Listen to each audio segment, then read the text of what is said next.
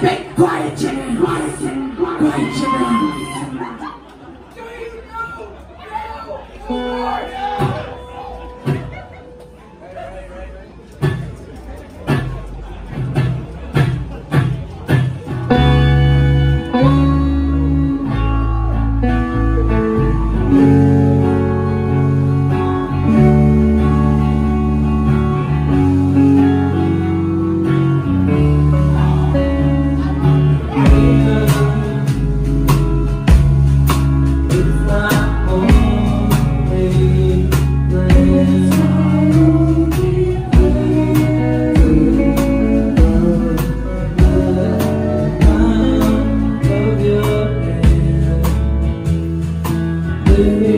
Your hero